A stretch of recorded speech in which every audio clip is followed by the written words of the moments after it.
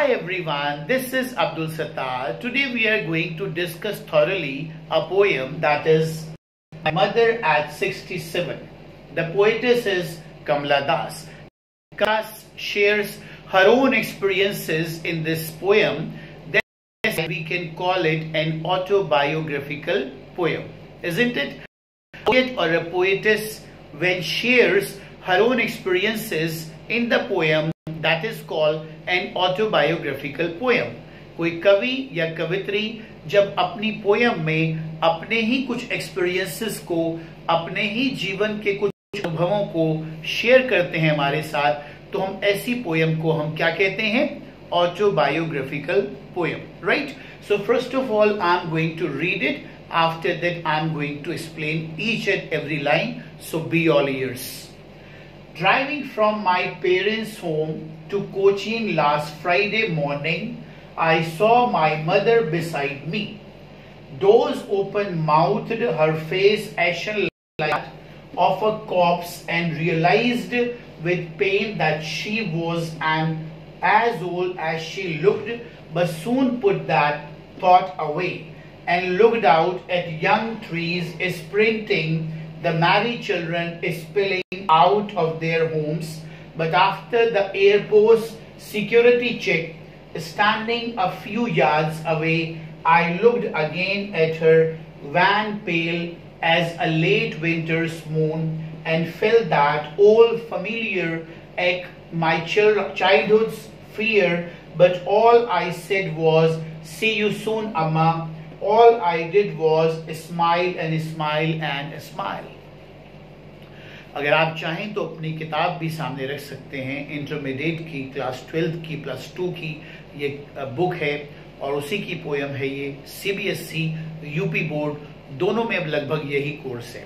Right so here we go the first line is driving from my parents home जब मैं अपनी parents के home से to Cochin last Friday Cochin में जब वो कमला दास अपने पेरेंट्स के घर से एयरपोर्ट जा रही हैं तो उनकी मदर भी उनको सी ऑफ़ करने के लिए एयरपोर्ट तक जा रही हैं।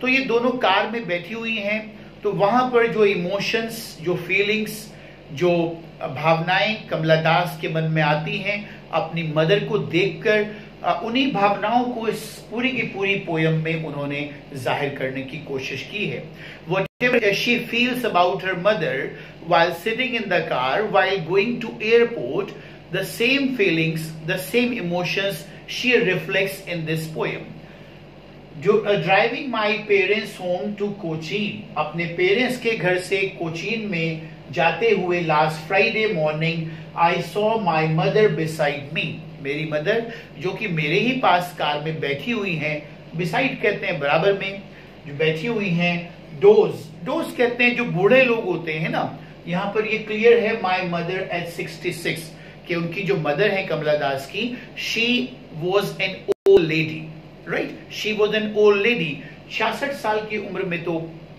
बूढ़े ही हो जाते हैं राइट right? तो बुढ़ापे की जो पहचान है वो ये भी है डोज ओपन माउथ आमतौर से जो ऑक्सीजन की कमी होती है, उसको पूरा करने के लिए बूढ़े लोग अपने मुँह को ऐसे ओपन करते रहते हैं।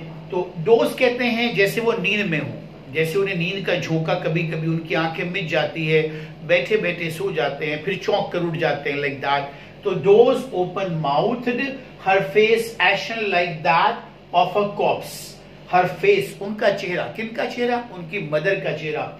एशन बिल्कुल राख की तरह। जो राख होती है ना, लकड़ी को जलने के बाद जो राख ऐश कहते हैं एशन का इस्तेमाल किया है, जो राख है, उसकी तरह बिल्कुल सफ़ेद पड़ा हुआ है। और सफ़ेद चेहरा जो है, वो सेहत की हेल्दी होने की निशानी नहीं होती। इसका मतलब वो बहुत ज़्यादा कमज़ोर है, उनके चेहरे पर सफेदी है। Ashen like that of a corpse corpse कहते हैं मुर्दे को। डेड बॉडी को।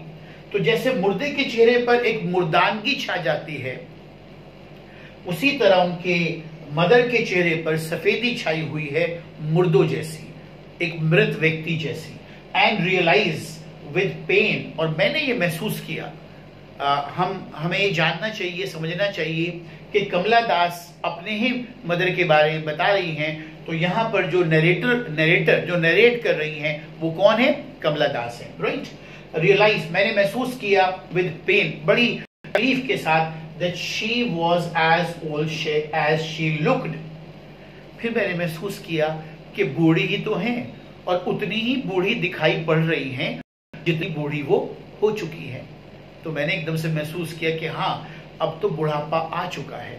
उन्होंने महसूस किया रियलाइज़ कि हाँ बुढ़ापा आ चुका है और ये सिम्टम्स जो हैं डोज यानी कि ऐसे आँखें मीश मीश लेना, बीच बीच में, फिर चौंक जाना चेहरे मुँह को ऐसे, आ, खोल देना, बीच बीच में, और चेहरे पर इस तरह की मुर्दानगी छाना, ये आखिर बुढ़ापे के ही तो सिंबल्स हैं right she looked but put that thought away लेकिन एकदम से उस ख्याल को मैंने अपने मन से निकालने की कोशिश की।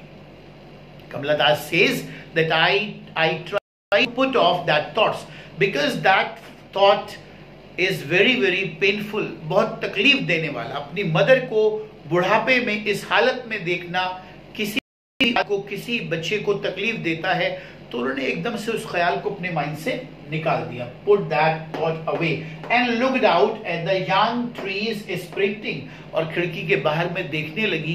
किन को देखने लगी? उन पेड़ों को। स्प्रिंटिंग जो पीछे छुट रहे थे। कार आगे जा रही थी। पेड़ पीछे छुट रहे थे और ये उनको एहसास करा रहे थे किस चीज़ का? यूथ का, जवानी का। जवानी का एहसास करा रहे थे। की जो हरियाली है, पेड़ों का इस तरह दौड़ना है राइट वो उनको एहसास करा रहा है कि एक तरफ़ तो बुढ़ापा है, जो मेरी मदर की शक्ल में बैठा हुआ है मेरे पास, और एक तरफ़ ये हैं, जो हरे भरे हैं और दौड़ लगाते हुए लग रहे हैं। द मैरी चिल्ड्रन और मैंने कुछ बच्चों को भी देखा उन्होंने। मैरी मैरी कहते हैं खुश खुश मिजाज children spilling out of their homes जो अपने घरों से बाहर निकलकर खेल रहे थे। After the airport security check लेकिन जब एयरपोर्ट पर सिक्योरिटी चेक एक प्रोसेस होता है सिक्योरिटी चेक करती है पैसेंजर्स को, उसके standing a few yards away अपनी माँ से कुछ दूरी पर जब मैं खड़ी थी, क्योंकि वो मुझे सी ऑफ़ करने आई थी, अब मुझे जाना था I looked again at her मैंने दोबारा उनको देखा। वैन वैन पेल चेहरे पर बिल्कुल जर्दी। यानी कि चेहरे पर कोई रोजीनेस, कोई गुलाबीपन, कोई हेल्थ का साइन नहीं था। As a late winter's moon ठीक उसी तरह जैसे विंटर का मून होता है, वो भी लस्टरलेस होता है। उसके आगे धुंध होती है वो, बिल, वो बिल्कुल बिल्कुल पेल होता है उसमें कोई चमक नहीं होती है like that and felt that old familiar ache और मुझे वही पुराना फेमिलियर कहते हैं परिचित जिससे जान पहचान होती है वही दर्द मुझे फिर महसूस हुआ. She feels the same pain once again my childhood fear और चाइल्डहुड का जो फियर था बच्चे हमेशा इस बात से बेहद घबराते हैं कि अगर उनके माँ बाप दुनिया से चले जाएँगे तो वो ज़िंदगी कैसे बिताएँगे? और बचपन से जो ख्याल उनके मन में भी था, वो दोबारा से वो ख्याल आया, वो फियर वो भय, वो डर दोबारा आया कि अगर मेरी मदर मेरी ज़िंदगी से चली गई तो मेरा क्या होगा? राइट तो वंस अगेन ये फियर आया but all I said was लेकिन मैं इतना ही कह सकी और इतना ही मुझको कहना चाहिए था, क्या? सी यू सून अम्मा. सी यू सून जल्दी ही मिलेंगे. Right all I did was smile और जो मैं कर सकती थी, वो मैंने क्या किया? स्माइल मुस्कुराई उनको देखकर एंड स्माइल एंड स्माइल उनको देखकर लगातार मुस्कुराते हुए मैंने उनसे विदा ली। आई केप्ट स्माइलिंग वो कह रही हैं कि जाते हुए मैं उनको नाराज़ नहीं करना चाहती थी, अपने दुख के बारे में नहीं बताती थी, उनको ये महसूस नहीं कराना चाहती थी कि आपकी इस कंडीशन को देखकर मैं भी बहुत ज़्यादा दुखी हूँ। तो यहाँ पर लास्ट में when the poem ends Kamala Das says us के she she only smiles she only smiles she only smiles she doesn't want to give the impression to her mother. वो अपनी मदर को ये इंप्रेशन नहीं देना चाहती थी कि उनके बुढ़ापे को देखकर, उनकी ओल्ड एज को देखकर, उनकी इस पैथेटिक कंडीशन को देखकर वो खुद दुखी हैं। वो जाते में उनको एक ऐसा मैसेज देना चाहती थी कि all is good all is well सब कुछ ठीक ठाक है. That's why she smiles at the end of the poem and she as the poem over here this poem is very easy बहुत आसान है. इसे एक दो बार वीडियो को देख लीजिएगा. पसंद आए तो चैनल को भी सब्सक्राइब करना ना भूलें. Okay this all for the day bye